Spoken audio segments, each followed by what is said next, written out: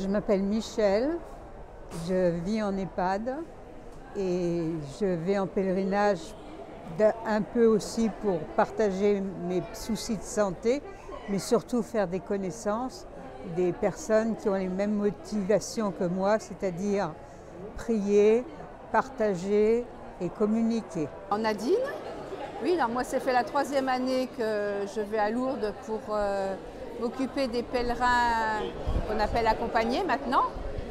Donc moi je suis ravie. Donc on donne beaucoup, c'est effectivement c'est fatigant, mais on reçoit au centuple, donc euh, voilà pourquoi on y retourne. Bah, bonjour, je m'appelle Marie et je vais à Lourdes pour être au service euh, des malades. Mais comme hospitalière, ce sera la première. Je suis très contente d'aller à Lourdes car on va voir la Sainte Vierge, on est en bonne forme. Euh, bonjour, euh, je m'appelle Fleur Stévenot, j'ai 16 ans et je viens à Lourdes pour découvrir Lourdes et pour aider euh, pour être aux soins des malades. Et euh, j'y vais surtout à Lourdes pour voir la grande statue de Marie parce que j'ai toujours voulu la voir. Et euh, j'y vais alors surtout parce que j'aime Jésus. Voilà.